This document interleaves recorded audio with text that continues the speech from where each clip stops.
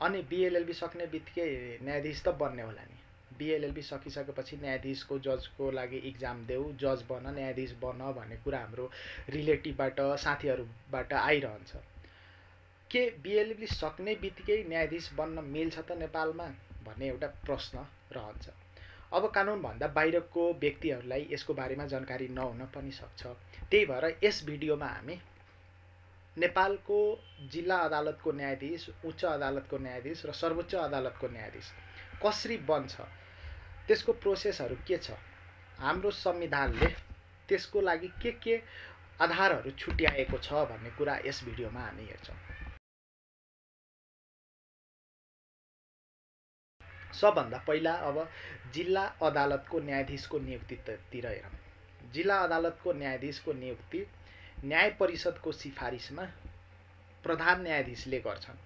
अब यो टोटल जिल्ला न्यायाधीशको लागि जति पोस्ट खाली छ नि त्यसको पदपूर्ति कसरी हुन्छ भन्दाखेरि सपोज चा सयवटा सिट अब खाली हुँदैछ भने बिस प्रतिशत सिटलाई यसमा के गरेको छ भन्दाखेरि बिस प्रतिशत चालिस प्रतिशत र चालिस प्रतिशत गरी तिनवटा लेभल छुट्याएको छ अनि त्यही तिनवटा लेभलबाट यो जिल्ला न्यायाधीशको नियुक्तिहरू हुन्छ यसमा बिस प्रतिशतमा को को पर्छन् भन्दाखेरि कानुन स्नातक उपाधि प्राप्त गरेको न्याय सेवाको राज पत्राङ्कित द्वितीय श्रेणी जसलाई गजेटेड सेकेन्ड अफिसर पनि भन्छ सेकेन्ड क्लास अफिसर भन्छ त्यस्तो व्यक्तिले यदि तिन वर्षसम्म काम गरेको छ भने ती व्यक्तिहरूमध्ये त्यो अधिकृतहरूमध्ये ज्येष्ठताको आधारमा योग्यताको आधारमा कार्यक्षमताको आधारमा मूल्याङ्कन गरेर नियुक्ति गरिन्छ। भन्नाले सयवटा सिट खाली छ भने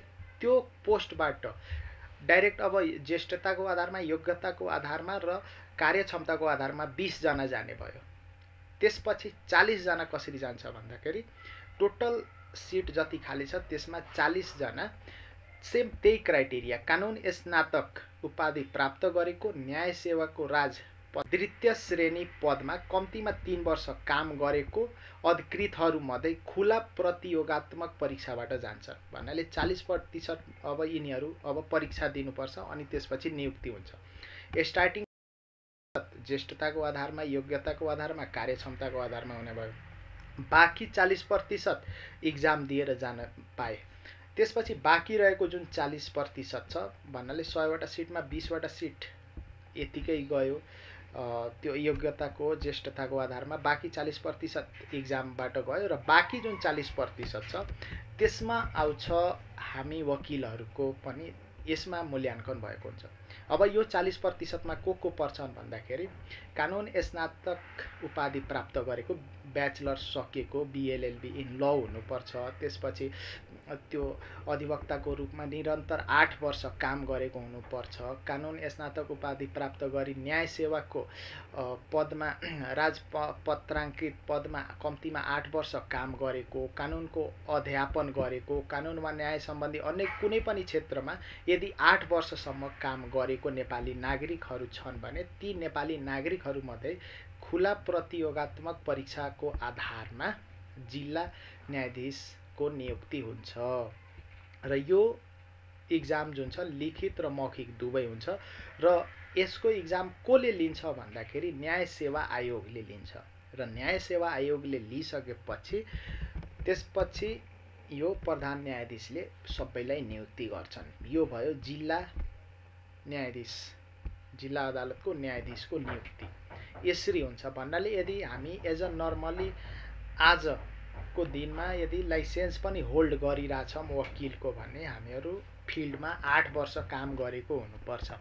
त्यही भएर हामीहरूले अब सेट हाम्रो जेनरल भाषामा बुझ्ने हो भने वकिलहरूले आठ वर्ष काम गरेको छन् भने त्यसपछि मात्र जिल्ला अदालतको न्यायाधीशको लागि योग्य हुन्छन् र त्यसपछि इक्जाम दिएर इक्जाम दिइसकेपछि त्यसमा नियुक्ति हुन पाउँछन् भन्ने कुरा छ।